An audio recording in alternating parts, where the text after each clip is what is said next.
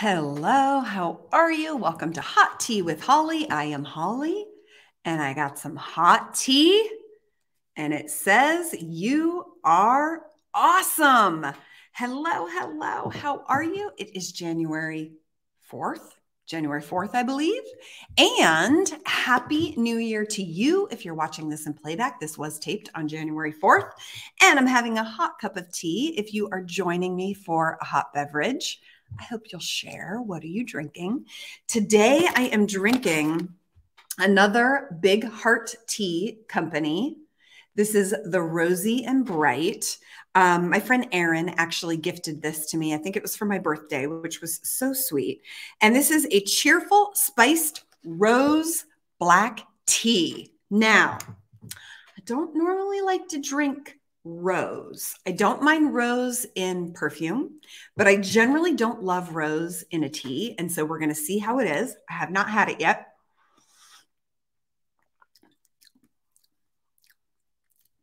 Don't love it. I'll be honest. don't love it. I don't taste the rose, but I am getting a lot of hibiscus. Hibiscus, rose, cinnamon. That's why the cinnamon, you can't combine cinnamon and rose, people, right? Cinnamon is just way too strong of a flavor to combine it with rose. This is a miss for me. I like the black tea in it. I like the cinnamon. I like the hibiscus, but the rose is not coming through. So there you have it.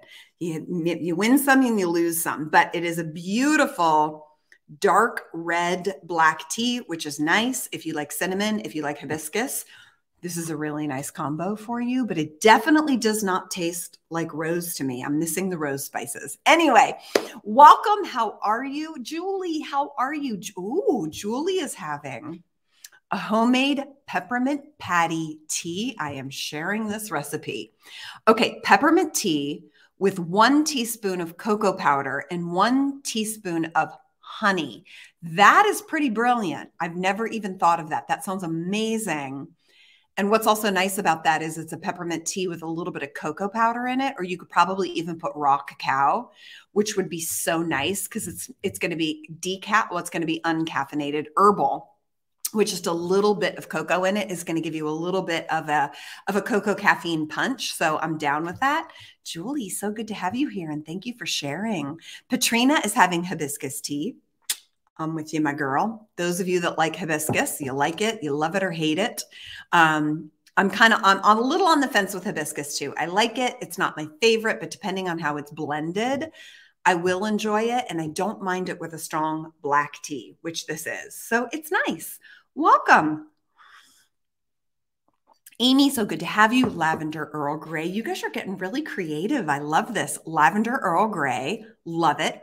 Irene is having blueberry green tea. Love it. What else do we have? Mary. Hello, Mary. How are you? Happy New Year to you. I've missed you. Bigelow green tea turmeric. Another good combination. Oh, my goodness. Judy Tate. Hello. Heidi is having, oh, Heidi is having watermelon electrolyte rehydration mix. Oh, by BioSteel. I don't know this one, but I am definitely loving the uh, Ultima Replenisher watermelon watermelon flavor, which is absolutely my favorite in terms of hydration drinks.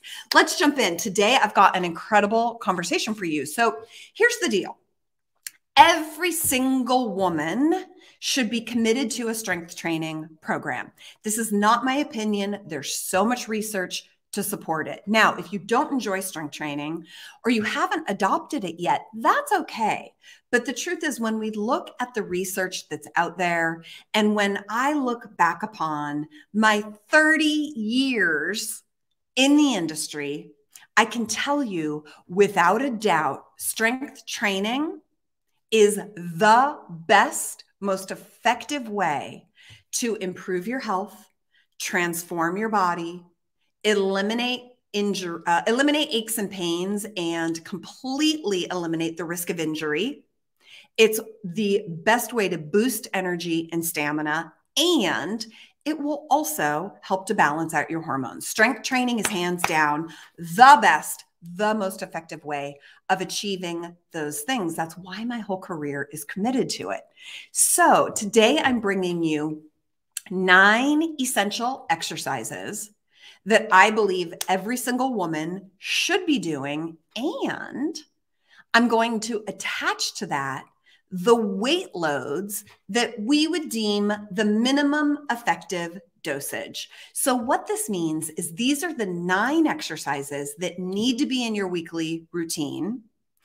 And it's the weight loads that I want you to strive to achieve at some point in your future. Now, some of these weight loads, you might already be able to do them. Some of them might be very far ahead of you. It doesn't matter. Your job is to take these nine exercises, incorporate them into your week somehow, and set out on a path to achieve the minimum effective dosage. This is the weight load that you need to be able to do at a bare minimum. Now, you can certainly do weight loads that are heavier. I'm not saying that once you reach these weight loads, your job is over. What I'm saying is, in my experience now of coaching women for 30 years, on top of a degree in exercise physiology and nutrition, on top of being a certified strength and conditioning specialist, on top of being the author of the Bible of strength training for women, my book, Lift to Get Lean, right here. On top of all of those things, this is what I see are the nine exercises and the nine weight loads that you need to be able to do to really create the body that you need to live the life that you already love. You're going to be walking through a life in this physical body. And the more you take care of it, the better your life is going to be. This part's not my opinion. This has already been documented by myriad research. There's so much research out there to support this. So, I'm going to share with you the nine exercises that are absolutely essential and the weight loads that you want to achieve at some point. I love this conversation. I've been wanting to do it for a while. So let's officially jump in. Grab your notebook, write it down because I want you to get started working on these nine exercises ASAP. Number one, not in any particular order. Number one is goblet squat. Now, the alternate to goblet squat could be a leg press, but I'm going to go with goblet squat because I do believe that an upright, weight bearing, closed kinetic chain exercise like a squat is something that every single one of us needs to be doing. Why? Because at some point in your life, you need to crouch down and stand up. And that goes beyond just sitting down into a chair. So, have you ever had to get down on your hands and knees, look under a bed, or maybe dig in the back of your closet and find a box and you have to get down on your hands and knees and then you need to stand up with that box? Now, that might be easy for you and me now, but when you're 72 or 78 or 84 or 97, this is a really important movement pattern, and goblet squat is my favorite squat variation for women for a number of reasons. One, I love the foot position because it's a little bit more um, forgiving on the unique structure of a woman's body, the way that we use our legs, uh, the way that we use our glutes, the positioning and the rotation of our pelvis, and our hip structure in general. I find goblet squat is just such a great, productive, but also accessible squat movement pattern. And some of the other squat movement patterns are particularly clunky a barbell front squat, a barbell back squat, even a dumbbell squat, I find is a bit clunkier than a goblet squat. It's so doable for everyone. Now, I have women in my community. Shout out to Carmen. Are you here? I have women in my community in their 30s, 40s, 50s, 60s, and 70s. I don't know if I've got anyone in their 80s. I believe that I do, but I can tell you this I've got women in all of those um, decades of life doing goblet squat. It's absolutely one of the best exercises that you want to be doing. So, what's the weight load? What is the minimum effective dosage? Let me repeat just in case you're hopping in now. I'm going to be giving you the nine exercises and the nine weight loads that are the bare minimum effective dosage. And what this means is this is the minimum resistance amount that you want to accomplish, that you want to check off the list. And by no means am I saying I want you to stop at these weight loads. I want you to keep progressing beyond some of these weight loads. But this is the bare minimum. You've got to be able to do a goblet squat, body weight plus 30 pounds at a bare minimum, at a bare minimum. And I might even say that number is 35 or even 40 pounds. But I thought long and hard about these numbers that I selected. And this is based on my experience. This is not based on any research. I don't even know if we could create research around this topic. But this is off of my 30 years of, of training women and also being a woman myself. Goblet squat, your own body weight plus an additional 30 pounds. So, what that looks like generally is it's going to be a 30 pound kettlebell or dumbbell. Now, it could be two 15 pound kettlebells, it could be two 15 pound dumbbells put together, but generally, a goblet squat is easiest and most productive when you're using one weight load, and that would be 30 pounds. Write that down. Now, if you're already at 30 pounds, high five, check that one off your list but I do want you to continue to progress beyond 30 pounds. Heidi, where are you with your goblet squat? If you don't mind sharing, who else is here? Jennifer, if you're here, maybe Mary, if you want to share. Um, I'll share where I am right now, but you know, Heidi, I think Heidi is up to 45, 55 pounds. If you'll share with us where, if you're still here with me. So I'm not saying that 30 pounds is where you want to stop. It's actually where you want to start. So, if this is a new movement pattern for you, you might start with five pounds or maybe 10 pounds. And gradually over time, progressively, I want you to inch yourself up to 30 pounds on your goblet squat, comfortably doable for approximately at least a set of 12 to 15 repetitions. And that is the bare minimum effective dosage that you're really going to be able to get all the benefits from strength training on this particular movement pattern, goblet squat. Heidi, let's see, if she's still here? Uh, she's not here. Mary Tanny's at 25 pounds. Currently, I'm at only, I'm at 30 pounds myself right now. I could probably do it a little bit heavier. Um, I'm limited by my exercise equipment right now. So I've got to get some more exer exercise equipment to get beyond 30 pounds. But right now I'm at 30 pounds, and that's a little light for me. But again, it's just like I said, it's the minimum effective dosage, it's the smallest amount that you're really going to feel the benefits of your strength training. Number two, can you guess? I'm curious if any of you guys can guess some of my nine exercises. Number two, again, not in any particular order. Number two is a dumbbell side raise. Love a dumbbell side raise. And that's because it is a mechanically disadvantaged movement pattern. So, because you have this lever length, your arm, and you add a weight load to the end of that lever length, when you're going through a dumbbell side raise, it's a very challenging exercise. It's a great exercise to safely, conservatively strengthen the deltoids as the primary muscle mover, as well as some of the other accessory muscles around your shoulder. But your medial deltoid is the biggest of the shoulder muscles and particularly of the deltoids there's three deltoids but specifically of the muscles that um, direct the movement around the shoulder your medial deltoid is the biggest the most powerful and it's the one that needs the most love. Now, this is also the muscle that creates a beautiful shoulder.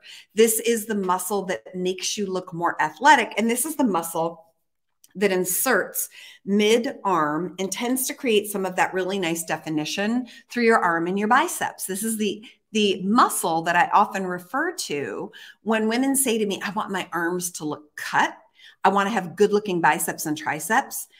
I actually have them work on their deltoids because by developing your deltoids, the rest of your arms look amazing. And you don't have to put as much effort into your biceps and triceps because the deltoid will make your arm look incredible. So, exercise number two of the nine is dumbbell side raise. And the minimum effective dosage here is eight pounds, an eight pound dumbbell with excellent technique. So, what you're going to find is that when you make the transition from five pounds to eight pounds on a dumbbell side raise, that's a big shift. Most, almost all of the women my, in my community, if they were with me here in the gym and I guided them, they could do a five pound dumbbell side raise for a solid set of 15 repetitions.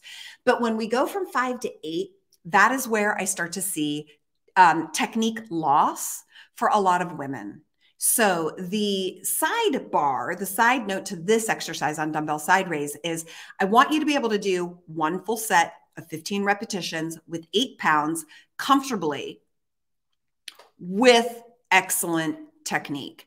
Excellent technique. Okay, that's really important because you could muscle through 10 pounds of this exercise. And I see this all the time in my community where women are like, I'm doing 15 pounds on my on my dumbbell side raise. And I'm like, mm, send me a video. Let me double check that because there aren't a lot of women that are doing a 15 pound dumbbell side raise with beautiful technique. And as you know, I am all about technique first. Technique trumps everything. It's rule number one in my book, Lift to Get Lean. Trump, trump uh, uh, technique trumps everything. And so for exercise number two and the minimum effective dosage of eight pounds, I want you to really be learning your dumbbell side raise with gorgeous technique. Now, today we're not really talking about what gorgeous technique means. We can talk about that in other conversations, but this will at least get you started. If you're here with me live, please say hello. If you're having a cup of tea, mm, what are you having? Hmm. Rona is here. Heidi's here. Okay, so guys, Heidi, just to circle back around, um, Heidi is at 65 pounds on her goblet squat. And so I share that to brag about her a little bit. Yes, of course, she's a bad ass for sure. But more importantly, is just to demonstrate basically the range. I definitely want you hitting 30 pounds, but that 30 pounds could head on up even beyond 65 pounds. Once you get up to about 45 or 55 or even 65 pounds on your goblet squat, you're going to notice major changes in how your body feels, how you move through life, how you perform in your other workouts. It's really going to improve your life and your mechanics so much. So, again, the numbers that I'm sharing with you today are what I refer to as a minimum effective dose, meaning you got to hit this at a bare minimum in order to avoid injury, age gracefully, transform your body into the aesthetic that you're looking for, to perform better, to optimize hormones, to reduce aches and pains, boost energy. So many benefits to this. These are the minimum effective doses. Okay, number three, again, not in any particular order. Those of you guys that are um, familiar friends here inside of Hot Tea with Holly or in my community in general, this one will come to no surprise because this is probably in my top four exercises. So if I had to whittle the nine down to like four, I think this would be in the top four. And that is drum roll cable lat pull down. cable lat. Cable lat pull down will always have my heart.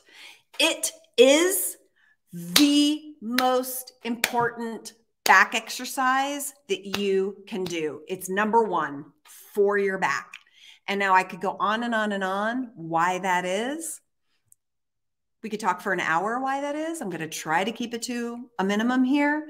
But the reason why is that this downward action. It is a downward pull at a slight angle of your torso strengthens the major muscle mover is your latissimus dorsi, your lats, which is the largest muscle of your upper back.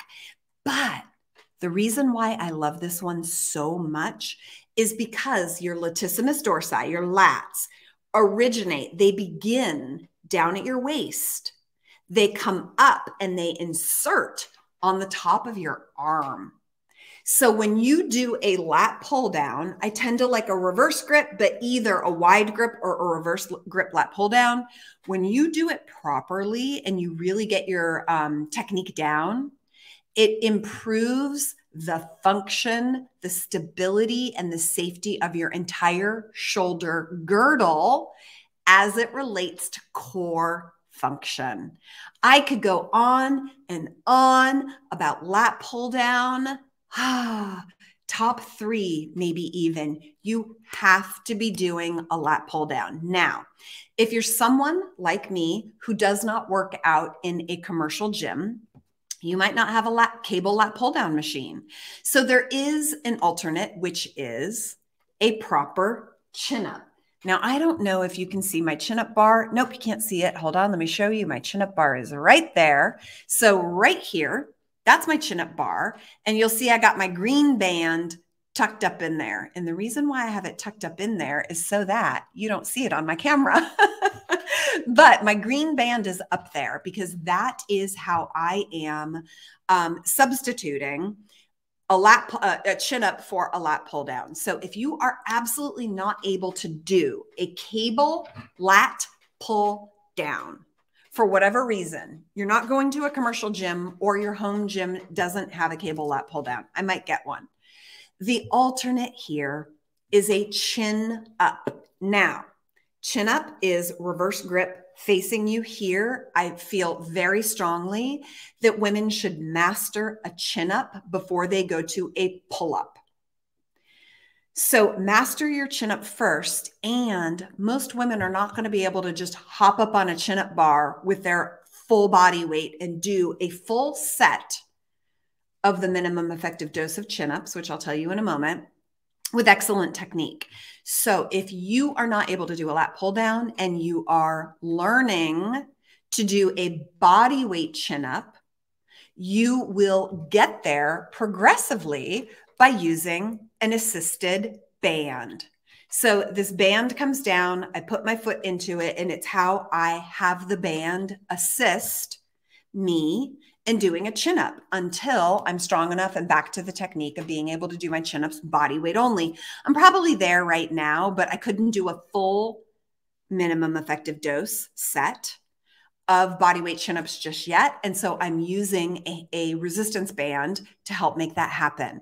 The minimum effective dose cable lat pull down, reverse grip, or overhand wide grip, 70 pounds. Now, every cable lat pull down machine is going to be a little different. So your machine might be a little heavier, your machine might be a little lighter. It's around 70 pounds.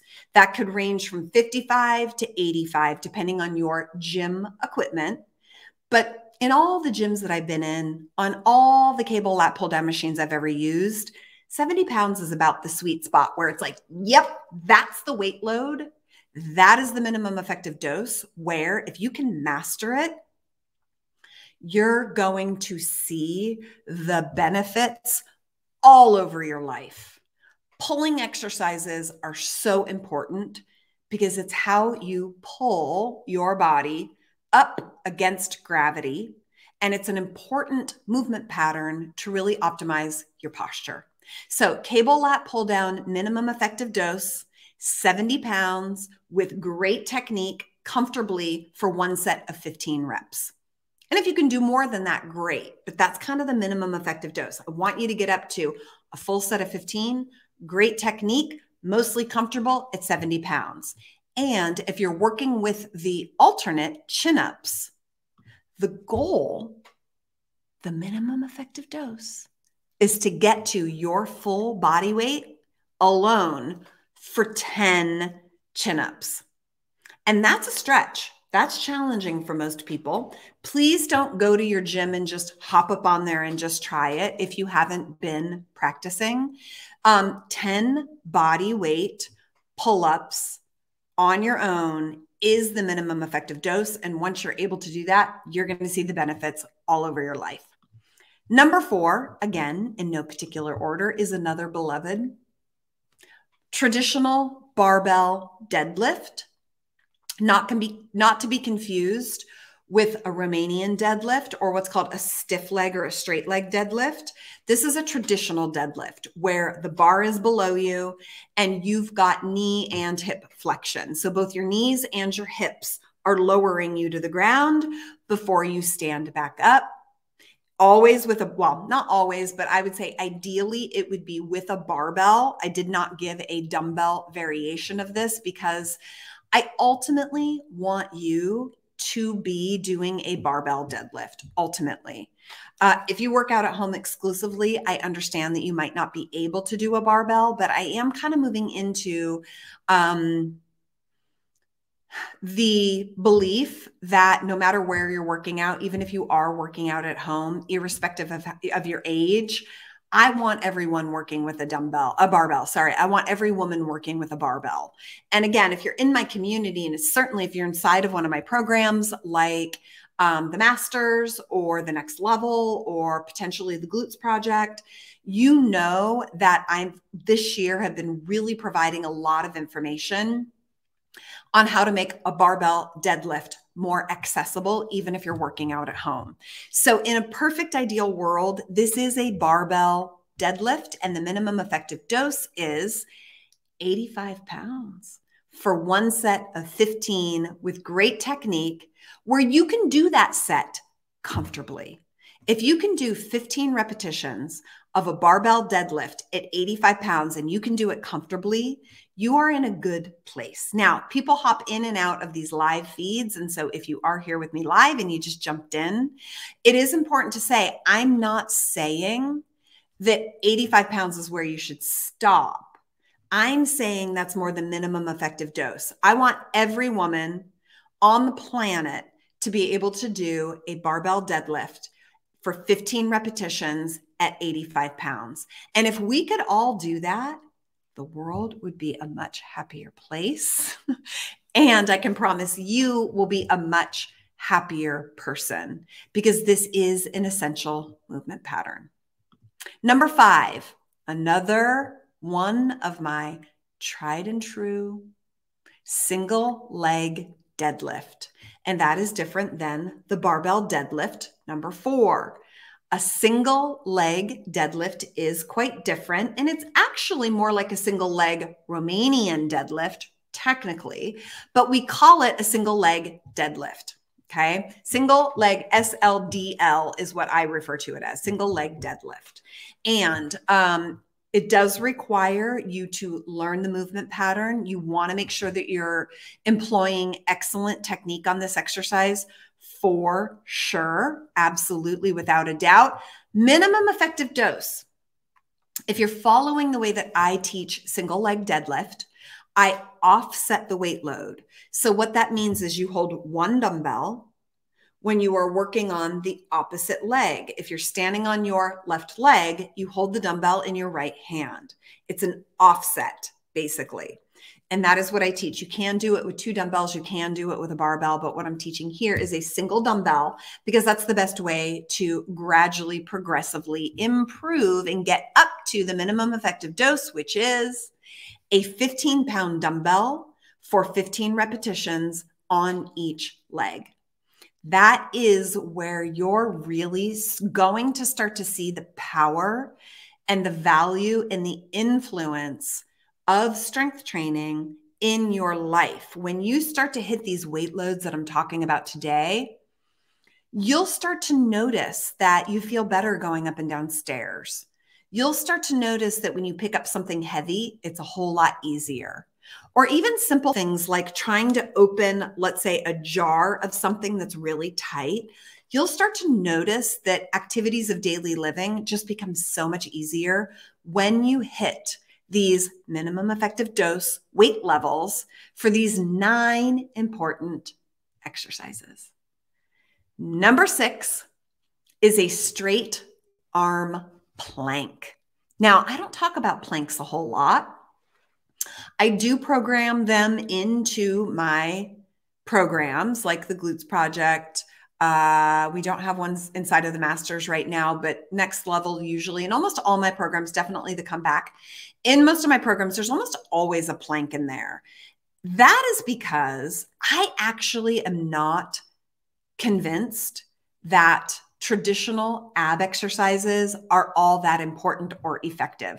Now, I'm not going to say don't do them, but when you are mastering everything else that I teach, when you're mastering the other eight exercises that I'm talking about today, and you get up to this minimum effective dose, this minimum weight load on each of these exercises, you're going to start to see that your core gets strengthened and that typical isolated ab exercises like crunches and bicycles aren't as important. I'm not saying negate them. I'm just saying I'm not convinced they're all that important when you're hitting these weight loads on your goblet squat or your deadlift or your single leg deadlift or your lat pull down. A heavy lat pull down is incredible for your core. And so it ends up um, kind of reducing the importance and the value of typical crunchy crunch type ab exercises. That all being said, I do think plank type exercises are valuable. So, straight arm isometric plank, which is different than a bent arm isometric plank.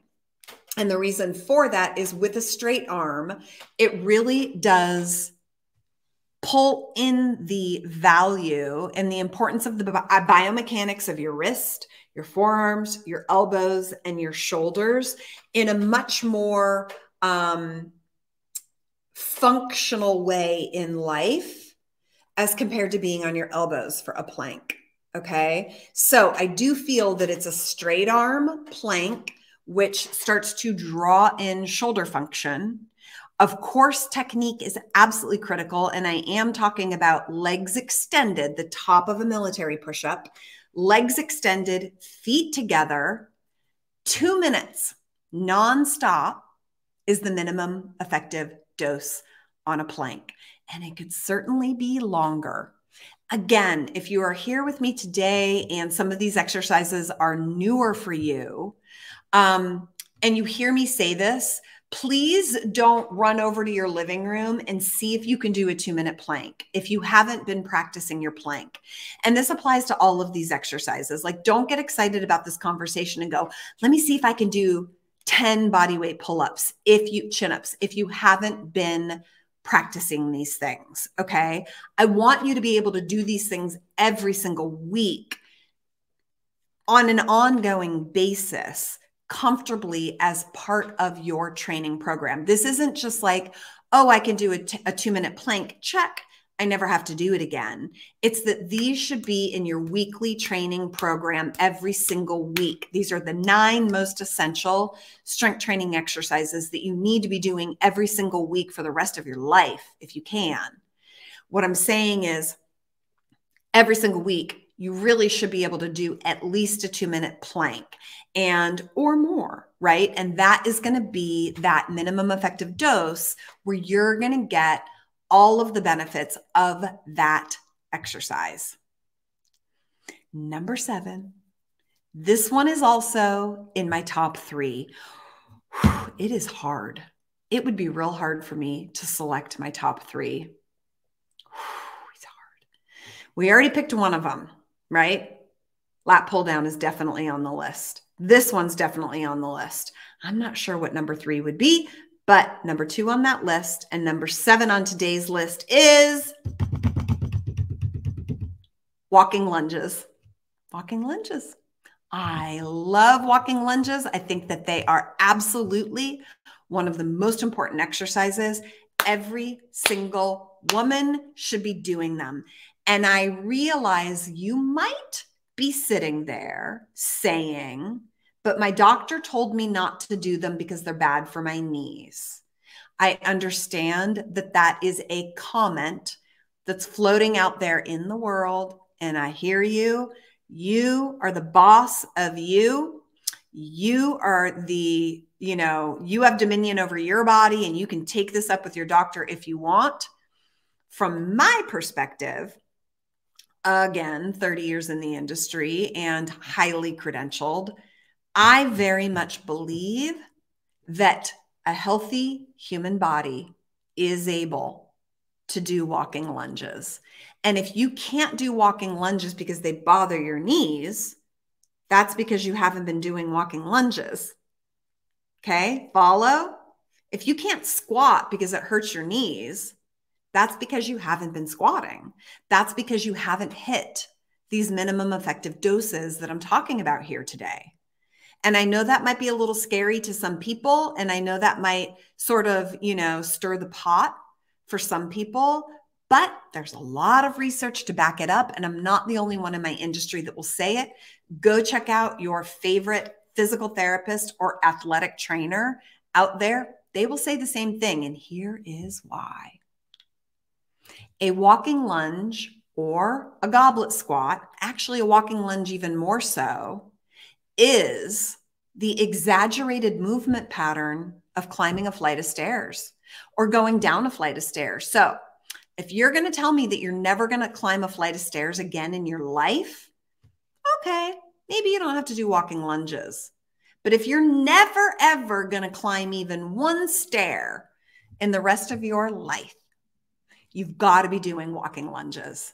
It is an incredible movement pattern. And yes, just like the other nine exercises that I'm talking about today, you've got to do it with good technique. I am not telling you to do these exercises with terrible technique to just check them off the box to say, Holly said I needed to be able to do this many walking lunges. I could do it. No, it's that you can do it in a repeatable fashion week after week after week. And it's where your fitness level is, it's where your current ability lives week after week after week after week after week after week. And you've got to really be focusing on doing all of these with excellent technique. This is not achieve these numbers at the cost of your technique. It's get your technique first. And then when you can achieve these doses, dosages, right? Then you're going to be bulletproof. You're going to be so much more functional. You're not going to have knee pain. You're not going to have shoulder pain when you reach these movement patterns with perfect technique on a consistent basis. Walking lunges, body weight, nonstop for five minutes. That is right. And that is a lot. I believe every woman, in order to be optimally fit, strong, resilient, and injury proof, every single woman should be able to do five minutes, body weight only, nonstop walking lunges with beautiful technique, one set.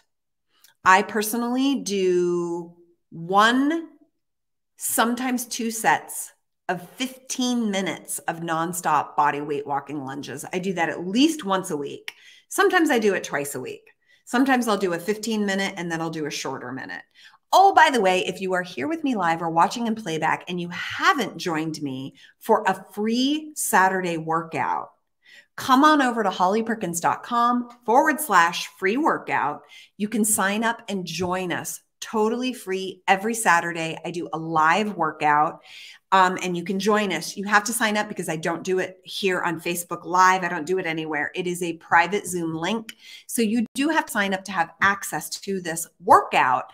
But we do workshop walking lunges every single Saturday because this is a movement pattern that I think is super, super important. So if you haven't already joined me for a free live workout, come on over to my website, hollyperkins.com, add a forward slash free workout. Put your name and your email in, and you can join us this weekend. I am here providing this free service almost every single weekend, and it would be so fun to have you there. Walking lunges, body weight only, five minutes. Number eight on the list, and I will circle back around for any questions for those of you guys that are here with me live. Number eight's another controversial exercise. This is another one that's up there with walking lunges. This is another one that's up there with goblet squat. And this is another one that's up there on my top five. Maybe not in the top three, but definitely in the top five. Number eight of the nine movement patterns that you've got to be doing.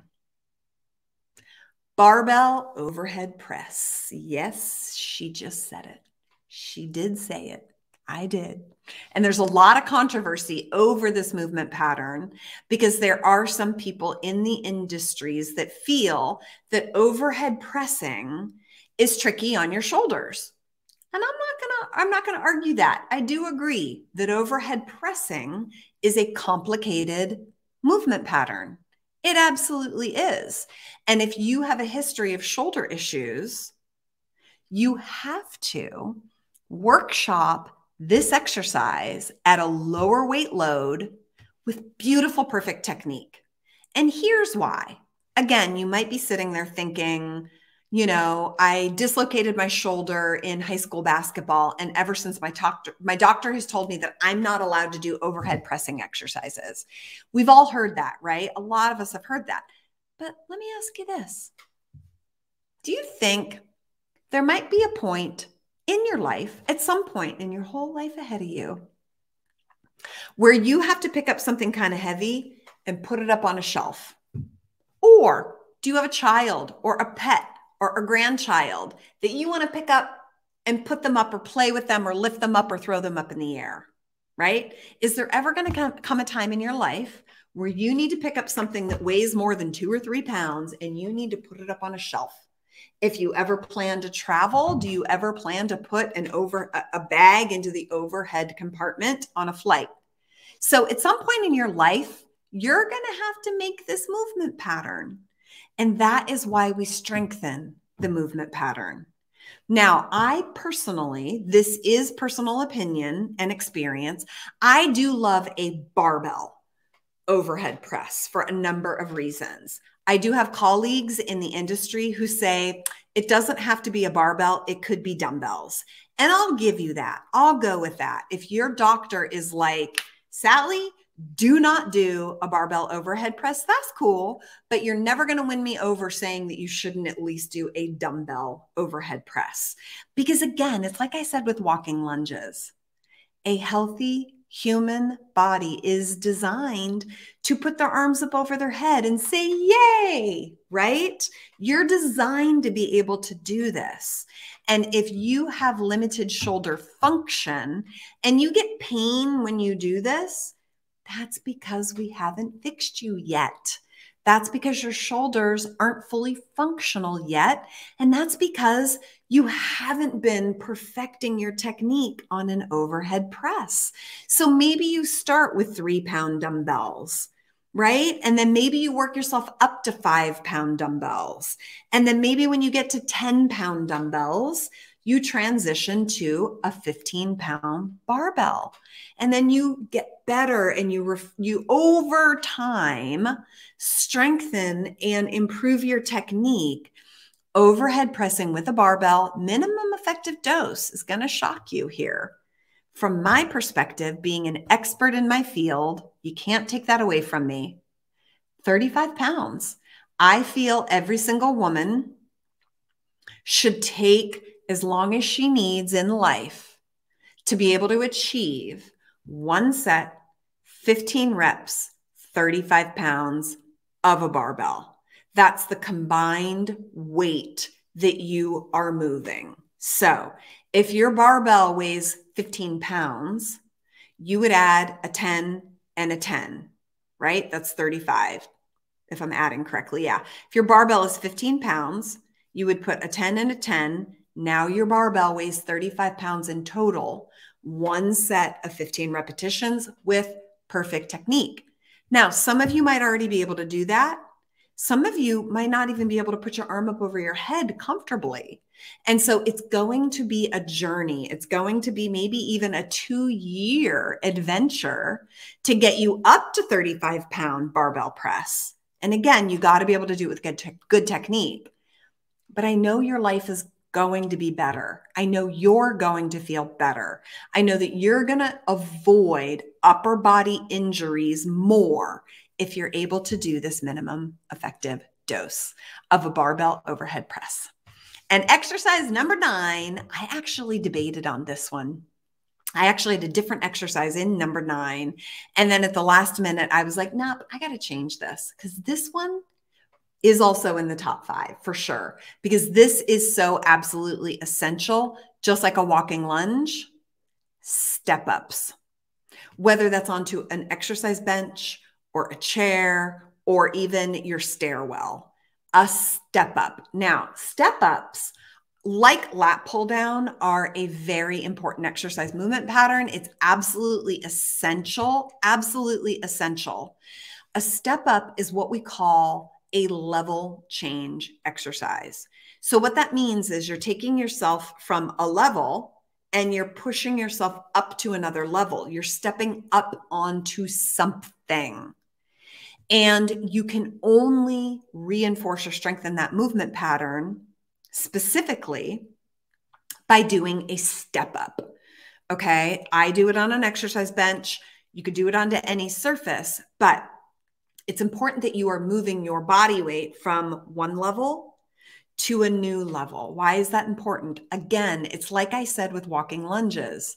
Unless you're going to tell me that you're never going to climb a flight of stairs ever again in your life, unless you're going to tell me that, you need to be doing step ups.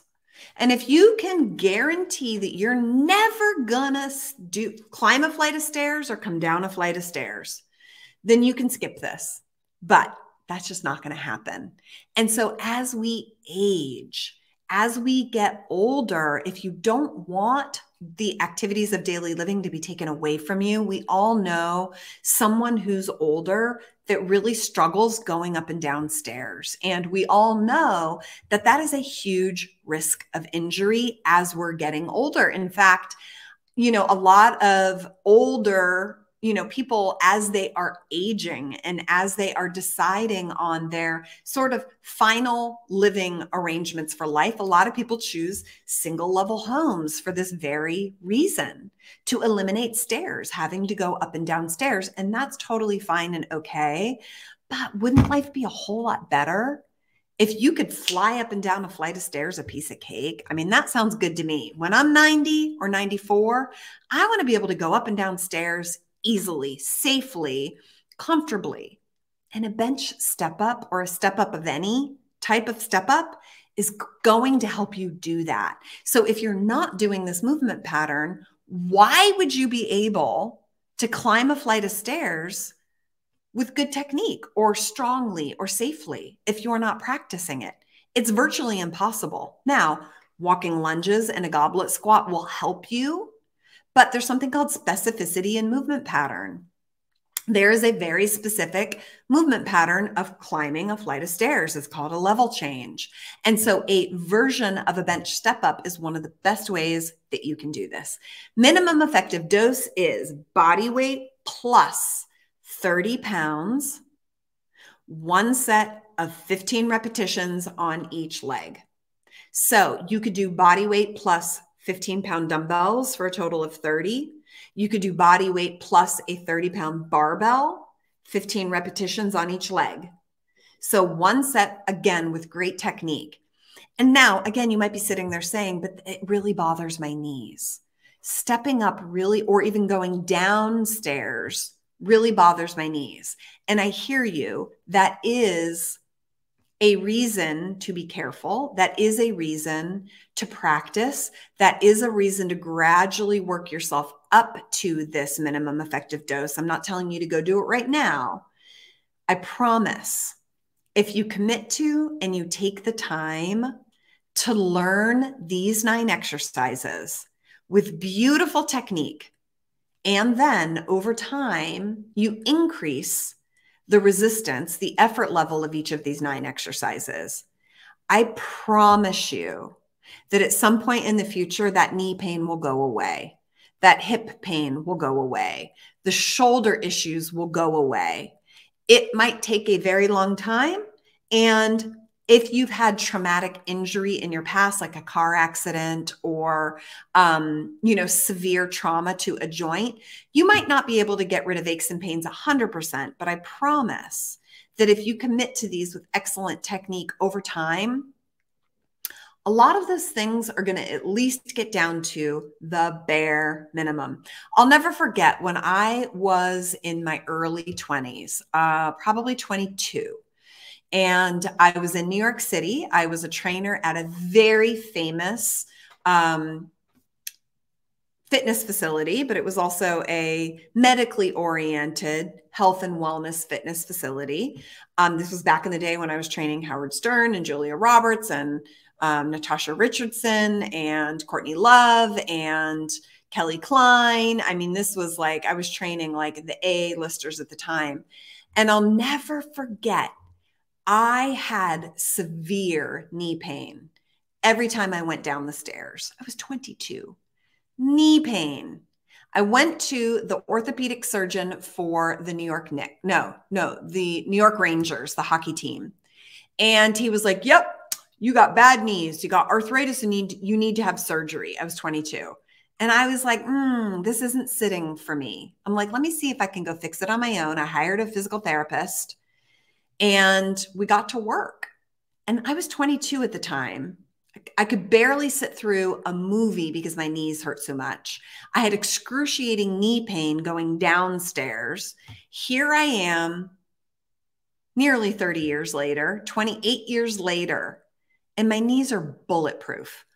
Bulletproof. My knees are better than they ever were in my entire life right now because of everything that I just shared with you. So, for those of you that are a little nervous, who it makes you a little uncertain if you've got issues with shoulder joints, knee joints, hip joints, I hear you. And I'm not telling you to, to ignore this, I'm telling you to commit to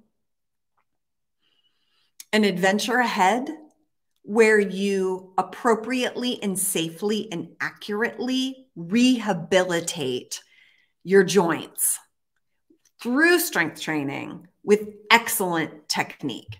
So as I said, the you know, the underscore to this whole conversation is that you are learning perfect technique with all of these exercises. It's critical. And now I know I'm going to come over to comments here in a moment.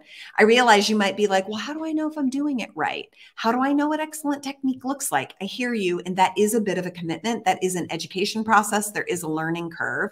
And this is exactly why I created Strength Society. So, Strength Society is a live workshop that I offered for the first time last year 2021.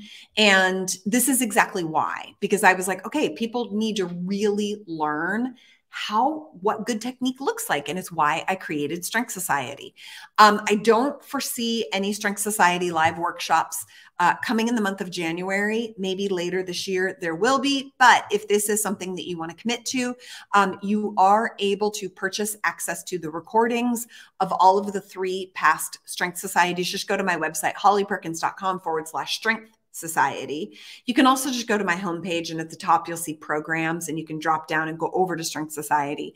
And you can look and see because a lot of these exercises, not all of them, but a lot of them, one,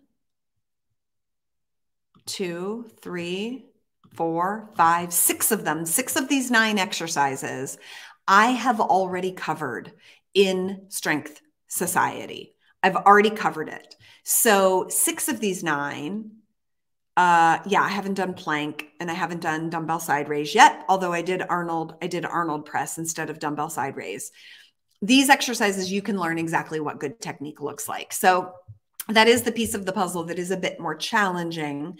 You can learn through YouTube. You can hire a trainer. You can start to watch yourself in the mirror and just start to learn what excellent technique looks like. It does take an education. I will give you that, but it's absolutely worth it because when you master these nine exercises at these weight loads, I promise you're going to send me an email that says, Holly, I love you so much because my body feels so much better. It's taken me two years or 18 months, but I've mastered these nine moves and my life is so much better because of it. Questions and comments. Let me circle back around here because I know some questions came in. So bear with me and let me catch up here. Let's see here. Who all is here? Hollis, I'm addicted to Clamato juice. I hear you, but I'm purchasing the teas you recommended last week. Oh, that's exciting. I have a new um, shipment of Harney and Sons coming in, I think today or tomorrow. And I've got white peach matcha. What else did I get? I got something new. I ordered a new tea from Harney and Sons that I haven't had before, and I'm totally forgetting on what it is. Hold on. We might have to wait and see what it is, but I know I got white peach matcha and I got two other, I think I got two other new teas. I might have gotten the green hot cinnamon spice on Heidi's recommendation. But then I think I got something else that was brand new. So stay tuned because next week I will be having a delicious new tea next week. Okay, let's see here. So SN Harris. I would guess that you will mention deadlift, shoulder press, and bent over row. SN Harris, who are you? Do I know you? Who are you? Um, that's hilarious because you know me well. So I must know you. I did deadlift, we did shoulder press, and bent over row was the ninth exercise that I actually decided to scrap and put in step ups instead. So I do think bent over row is a really, really good one too. Um, but lat pull down will cover the bases for bent over row. But if there was a 10th exercise, it would be bent over row. You know me very well. Um, that's not SN Harris. That's not Elizabeth, right? Shh. You'll tell me in a moment. I'll get down to the bottom of the comments here. Okay. Turo Turos leg press 90 pounds and going up. I will work on my goblet. I can do dumbbell side raise with five pounds for now. Beautiful. So, as I said uh, at the top of this segment, leg press could be an alternate to goblet squat. Leg press gets tricky because every single machine is different. But I would say you want to reach about 100 pounds on a leg press, total effort. Now, I've had leg press machines where the sled weighs 50 pounds, and I've had leg press machines where the sled weighs 15 pounds. So it depends on the piece of equipment that you're using, and therefore it's a little harder to say a minimum effective dose, but I would say about 100 pounds on a leg press if you're able to account for the differences in exercise equipment. Um, do you recommend these nine exercises all to be done together on the same day? No, they don't have to be. They could be. You could do all of these nine as a dedicated workout once or twice a week. You could definitely do that, but they don't have to be. So it really depends on what your strength programming is. And there's so many different kinds of strength programming, right? So if you're inside of one of my programs, that's why I do the programming for you because I personally believe the magic is in the programming and the programming variables, the programming elements. And that's what I'm particularly good at. I'm really good at writing programming. So it depends on how you are creating your programming. And I've done live with Hollies on this in the past. Um, but I would say, it doesn't matter as long as these movement patterns are in your workout routine in a given week and that you are slowly working up to these weight loads at some point. Like, I don't do these nine exercises all in one workout. I do these nine exercises split between three workouts with some other exercises added in. I'm also not saying these are the only nine exercises that a woman should do. These are the top nine most important that you should be doing, unless you're more advanced, right? Some people are more advanced. Nelson Miles, you look like Blossom from the 90s. I don't know who that is. Okay, need to look that one up. I'm going to take it as a compliment. It might not be, but I'm going to pretend it's a compliment. Patrina, I don't have a cable lat pull down, so anything I can sub when working at home. I imagine you heard me talk about my pull up. So that would be your assisted chin up. Technically, reverse grip chin up is what I like people to work on first. Um, Heidi said, lat pull down makes my back feel so good. I love them. And I couldn't agree more. For planks, Irene, if you have wrist issues, is it okay to use push up handles to keep your wrists in a more neutral position? Absolutely. But similar to what I've mentioned about knees and hips, I would say Um, your wrist really should be able to handle a two minute plank. You should be able to get to a 90 degree angle, weight bearing on your wrist.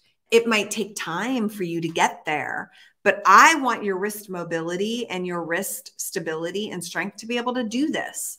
So I would encourage you to gently, gently, naturally over time work up to that. But if you also have a severe traumatic injury to a wrist, yes, you could use push up handles so that you're holding this position. You could absolutely do that. Hollis, is this adjustable for age and or disability? I'm 70 and some of the exercises I used to do might aggravate spinal compression and osteoporosis. That said, I'm totally committed to daily exercise. So Hollis, I would say these numbers are for every woman, every single age, irrespective of spinal compression or osteoporosis. Now, that being said, you should take your time and you should safely and gradually, and maybe with the help of a professional, get up to these weight loads. But what I'm saying is, I believe even with osteoporosis and spinal compression issues, I believe if you learn good technique, you should be able to get to these levels. Now, I'm not telling you to do it on your own. I'm not telling you to do it haphazardly. I'm not telling you to do it next week. But I firmly believe that this is how you're going to rehab your body and become better at 74 or 75 or 80, right? Because ultimately, spinal compression and osteoporosis are the result of not keeping your lean muscle mass up. It really is. These are conditions of aging and an aging body, and to some degree, aging. Um, to some degree, we can't completely avoid all aging. And therefore, you do need to do this very carefully, very conservatively, very gently, progressively over time. But this is the direction that I want you going. And I personally don't believe that you know, again, listen, I'm not your doctor and I don't know your unique circumstance. And so I do want you to check in with your, you know, advisors that know your body for sure, because I don't know the nuances of your particular body. But in theory and in philosophy, I actually believe, let me say it differently. If I had spinal compression and I was and I had and I was diagnosed as osteoporosis, osteoporotic, I think it is, right, with osteoporosis, and I was 70, I would be doing these things. Okay, I can say it that way. I would be doing this if I had that exact circumstance because I believe these are the things that are going to make me better. That being said, please do check in with a professional. Martin Martin, that's a language I don't understand. If anybody else would like to interpret that for me, I'd love to answer it. Um, Sophie Living Fit. Hello, Julie. Love your points about the controversial exercises since I was wondering about my knees. I mean, use it or lose it. Right. Yes and no. I would say use it or lose, lose it, but you also have to be employing good technique. Technique is super, super, super, super, super duper important.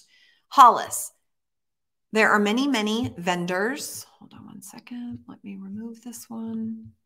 Hollis, there are many, many vendors of exercise equipment. For those of us who have to buy additional equipment to follow this, do you recommend any preferred vendors? Um, I don't have specific preferred vendors um, because it's it's based on the exercise equipment. Um, yeah, it's if you're inside. I don't know if you're inside of one of my programs, but like in the Glutes Project, I think I share my favorites. Um, but what I would say is all the brands do things differently, and some brands do things better than others. Okay, I'll say it that way. And what I would offer is there is a brand out there by the name of CAP, C A P, Charlie Alpha Papa, Charlie Alpha Papa, C A P, CAP. I tend to like pretty much everything they make. Um, but it just depends. It's a case by case, equipment by equipment situation. Sophie, my left shoulder has a little pain when I lift overhead and have limited movement range. So, in that situation, for those of you, I would offer that you work on this with either light or no dumbbells so that you're really working on your range of motion first. This is something we talked about at length inside of Strength Society. I forget which one. Wherever we did overhead pressing, I think it was Strength Society 3. We talked about this and we workshopped this. You might have to work unloaded to increase your your range of motion before you load it. Patrina, what weight do you recommend for dumbbell overhead press? Minimum effective dosage, I would say, is 15 to 20 pounds. 15 to 20 pound dumbbells for one set of 15 with excellent technique. Facebook user, if you're still here, I know you moved the glutes project, but is the comeback workout no longer available? So um, if you are already a comeback member, you will always have access to it. If you are interested in joining the comeback, send me an email. It is still available. It's just a different um, it's a different offering right now. But if you want to join the comeback, you're not already a comeback member, just send me an email at holly at hollyperkins.com and I can guide you. But if you are in the comeback and you just need access to the programming, email me as well, and I'll tell you how to get access to it. Uh, SN Harris is their specific height for step up. It's based on your body height. We also go over this in Strength Society. Martina, thanks for sharing your experience here.